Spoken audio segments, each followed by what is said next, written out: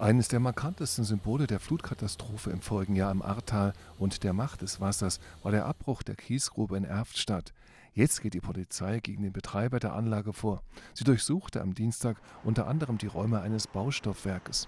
Die Staatsanwaltschaft Köln teilte mit, dass wegen des Verdachtes des fahrlässigen Herbeiführens einer Überschwemmung durch Unterlassen, mangelnde Baustellensicherung sowie des Verstoßes gegen das Bundesberggesetz ermittelt werde. Oberstaatsanwalt Ulrich Bremer sagte dazu am Dienstag in Köln.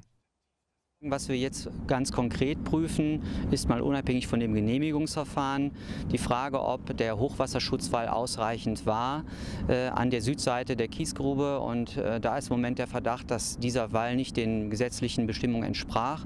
Zusätzlich soll es steile Böschungen gegeben haben, die nicht äh, hätten dort sein sollen.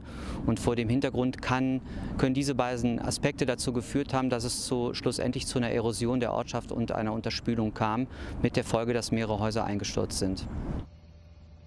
Zunächst war im Sommer 2021 der Boden nahe einer Kiesgrube am Fluss Erft weggerutscht, nachdem Starkregen die Grube geflutet hatte.